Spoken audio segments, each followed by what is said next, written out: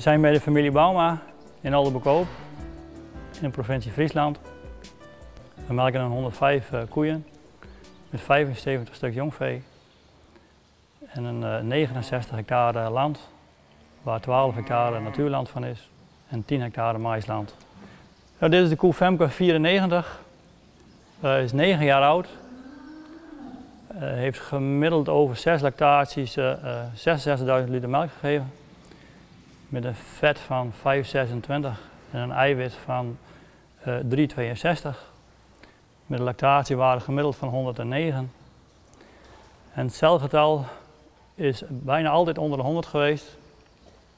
Op, zijn, op één, keer na, dat was zijn allereerste melkcontrole, die was iets verhoogd.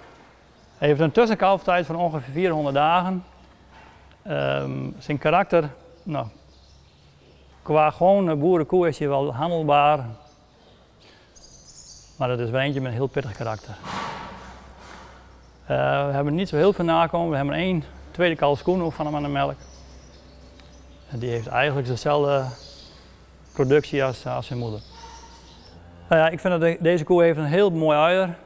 En, uh, gewoon een heel degelijk uier. Deze productie, dat is, uh, vind ik gewoon super. De beenwerk ook, heel degelijk. Is er nooit uh, kreupel geweest. Gewoon één keer in het jaar bekappen en uh, dat is het. En er is ook nog nooit een veearts bij geweest. Is nooit ziek geweest. Ja, het is gewoon een hele makkelijke koe met hele hoge gehaltes en heel veel melk. Hele makkelijke koe om te managen en zo. Daarom vind ik het de beste boerenkoe.